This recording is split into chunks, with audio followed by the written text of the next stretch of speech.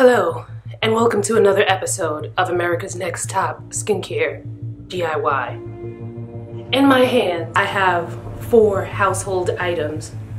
In one hand, there are items that, if you have them and you use them on your face, you should put the items down, raise your hand, and smack yourself silly.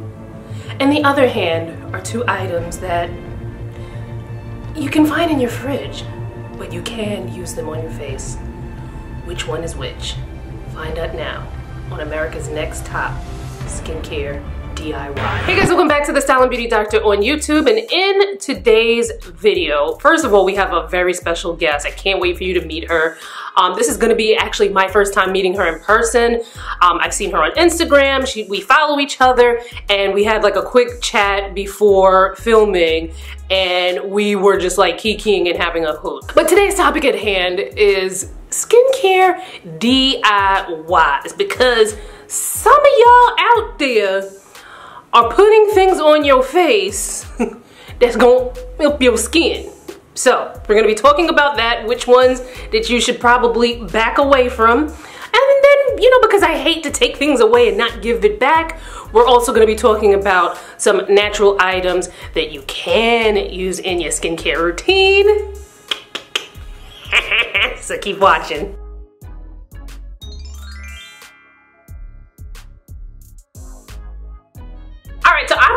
Introduce herself because she has an amazing resume. So kick it to you, Carla. Hello everyone, my name is Carla Nelson. I'm a registered nurse and a licensed esthetician. I own Fleur de Lis Beauty and Aesthetics in Brooklyn, New York. I co-own it with my sister Wendy Jules and we're super excited to be here today to talk all about skin. And then now we're gonna segue on to the first one. Yes. Lemon. Lemon, lemon, lemon. So let's talk about the lemon.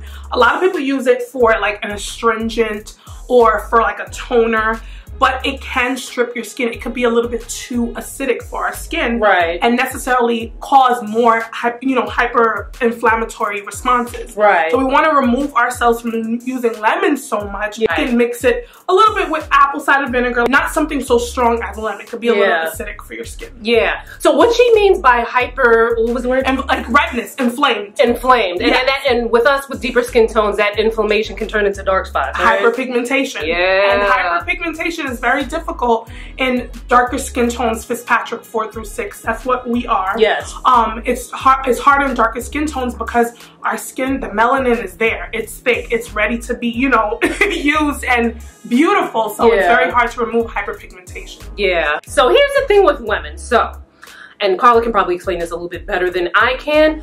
There is a pH scale. The skin sits on a certain level and then lemons sit on another level. Yes. So can you explain that for us? Yes. So the pH scale, as far as um, skincare goes, 7.5 percent. It's like where you're in the middle, and you want to make sure that you don't push the skin to being too acidic, where the lemon is very acidic, and it could cause inflammation, redness to the skin. And if you do decide to use a lemon, which is not wrong, mm-hmm. you want to make sure you protect your skin with an SPF. Okay. Because it can irritate the skin when exposed to the sun. So people can use lemon. You can use lemon with restriction. You want to make sure that you Oh. use SPF. So it's not too bad that you're using the lemon, Uh-huh. but you want to make sure that you're covering your skin and protecting your skin from the uh, outside rash. okay, because I was about to say like no, no no, lemon. No, we're not saying no, No lemon. lemon. We're not saying. I would have said no lemon. We're it's not okay. saying no lemons, but we definitely want to protect our skin if we do decide to use a lemon. Right. I have a video on sunscreens, as well as some non-ashy sunscreens Yes. that I have been testing and using through the years. That will be linked in the description box. Now, we talked about acids. Yes. Let's talk about some basics. Sure. And bow! Baking soda. Baking soda.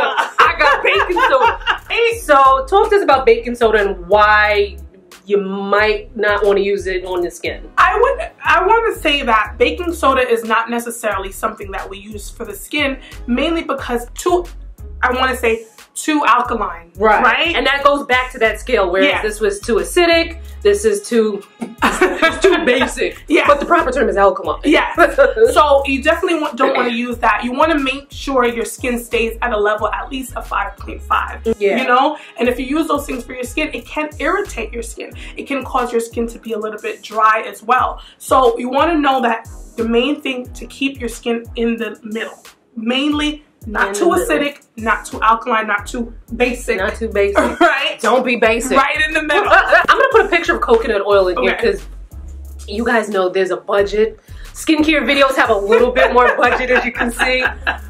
But we- we're still on a budget and the coconut oil, you know what Yeah, I'm saying? So yeah. I'll put the picture of, but you guys know what coconut oil is. People love coconut oil. You see all the memes, people want to just drench themselves, their whole lives and everything in coconut oil. And all I have to say is that emoji. No coconut oil. No coconut oil.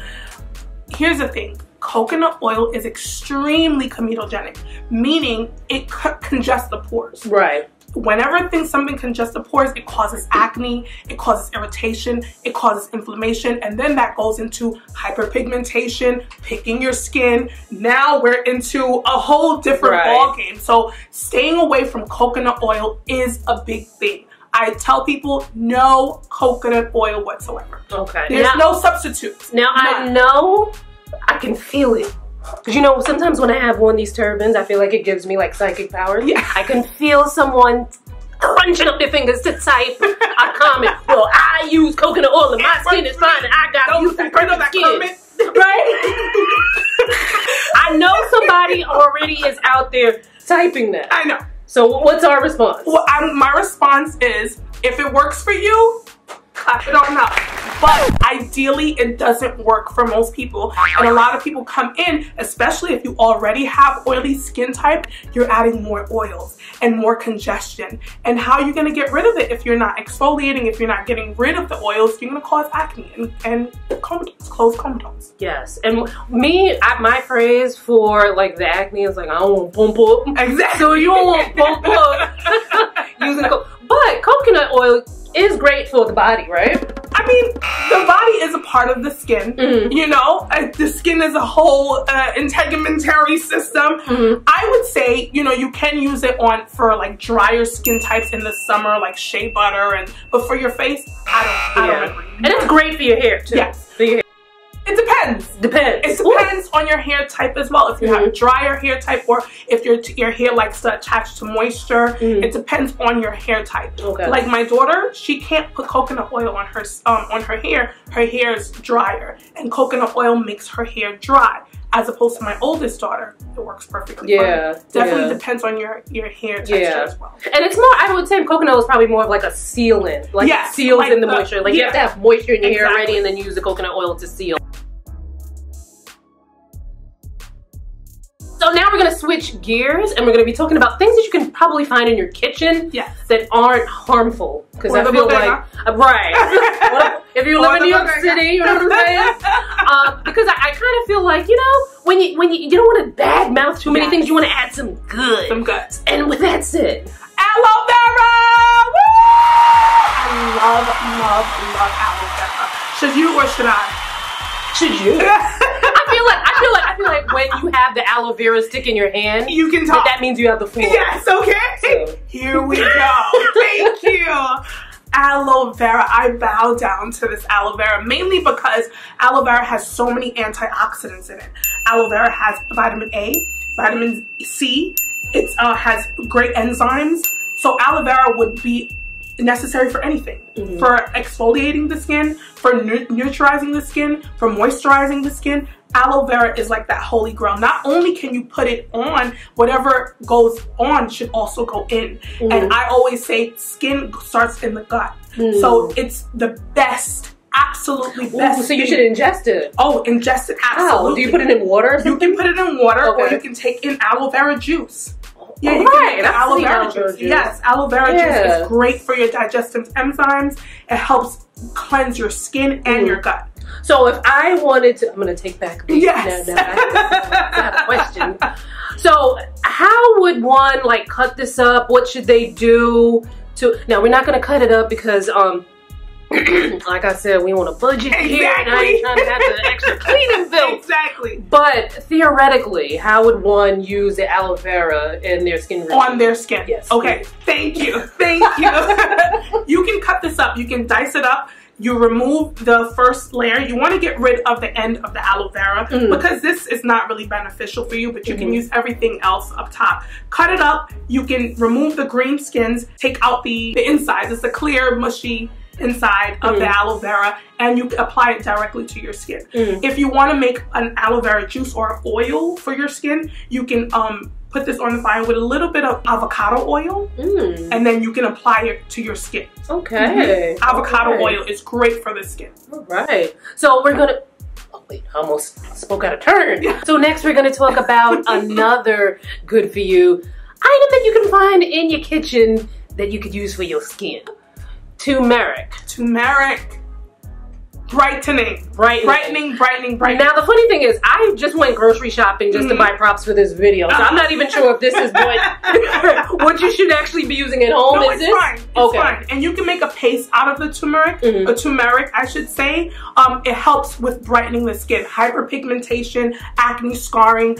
Turmeric is more of a holistic route um, that you can use for brightening up the skin. Okay. I would say you can mix it up, make a paste out of it, and leave it on for a few minutes as a mask, like a turmeric mask. Okay, so basically you would take um, whatever parts turmeric and mix with water. uh, uh, maybe a half a teaspoon of water. Can it be regular New York City tap or should it be regular tap, water? regular tap. Okay. regular tap. Make it out of a paste. Put it on as a mask. Allow it to sit for five to ten minutes, and then remove it. Of course, this may take a bit longer to get the effects that you would like, but it is effective in brightening up your skin. Okay. Yeah, and that's a great point that she made because, um, you know, in other videos when I was talking about like why you still have dark spots, um, there are certain ingredients that, you know, they work a little faster, Yeah. and then some of the more nat- natural ones, you know, they take the, they take their Exactly. They take their time. Yeah. It definitely takes their time. What I would say also, um, turmeric is like a replacement of kojic acid. Kojic acid helps brightening up the skin, and that's the same thing that um, turmeric does. Turmeric, I should say. So I say, I don't know, I interchange it. that's fine. Tomato, I tomato. Yeah, turmeric, turmeric, the orange stuff. The orange stuff. Bam. All right, and everyone's favorite. cucumber. And cucumber helps with circulation. yeah. It does help with circulation. So whenever you ingest it or you apply it onto the skin, it helps with puffiness under Mhm. the eyes or anywhere in the skin, anti-inflammatory. That's one of the main things a lot of us have, mainly because we're exposed to many free radicals, meaning uh, environmental issues that can cause pollution, pollutants on our skin that causes inflammation or you know acne that causes inflammation cucumber helps move the blood. It helps with puffiness. It helps circulate blood wherever it needs to go. So that's one of the main things i would definitely keep in and use is a cucumber especially under the eyes girl Yes. because i can't. I got chanel bags. I got Yves Saint Laurent bags. I got all the bags. All right, I have a little confession to make. yes I don't like DIY skincare, to be honest. I, it's just a lifestyle thing for me. I I, just don't have the patience. I'm like, I like listen. yeah I have my groceries delivered now. Like, Yeah. I, I just don't have the time to like, like no. i agree I can't be cutting up lemons and making sure that the pH is right and it takes a lot and, longer and mixing to get up. the effects Yeah, like if I'm gonna be mixing stuff up, it better be for my dinner. 'cause that's- Exactly. exactly. That's I just how I agree. feel. And I tell people, check out your local esthetician. It's much easier to just come in, lay back, chillax, and relax, and and um, be edified about the skin through knowledge, not Yeah. necessarily through eating. Guys, listen. It was a pleasure. When have you ever met an esthetician with so much personality? Please tell the people where they can find out more about your business. well, my sister and I own Fleur de Lis Beauty and Aesthetics in Brooklyn, New York, 1468 Flatbush Avenue. okay, Flatbush. Flatbush. Um, we're both registered nurses, and I'm also a licensed esthetician. And you can find us there or on Instagram at Fleur de Lis Beauty. Yes, and I will link that in the description box along with any other pertinent information, like if there's any other blog posts or videos that you should check out. Listen, I'm going. I don't listen. We gonna do another video. We're gonna do another- We are going to do Why not? another video. Why so not? make sure you're subscribed to this channel. Subscribe. Is it linked? it's, it's gonna be somewhere in here. But y'all know where to subscribe button. is. Y'all been on YouTube. Make sure you turn on the notifications so that you know when a video comes up. Follow me on social. I'll have the links in the description box. And I will see you fine folks in my next video. Next Bye video. guys. Bye.